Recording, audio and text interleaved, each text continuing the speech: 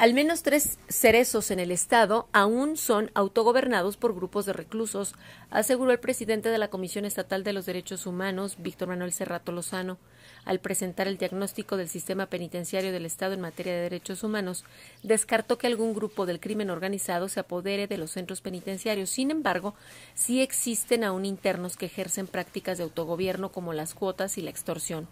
Cerrato Lozano informó que pese a esta situación, hoy las cárceles del Estado están en otras condiciones y es el caso de que se encuentran en una calificación de 8.40% de manera global.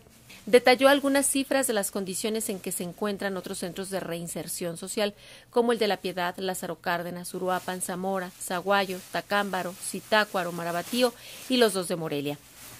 Tras la revisión anual de las condiciones en que se encuentra la población penitenciaria del Estado, se estableció que el penal de Tacámbaro es el mejor calificado con un 91.14% y el peor es el de alto impacto en Morelia con un 7.34%.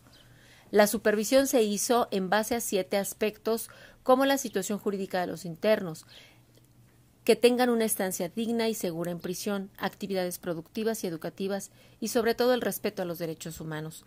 Aseguró que aunque estén reclusos, son personas y tienen derechos y una integridad que respetar.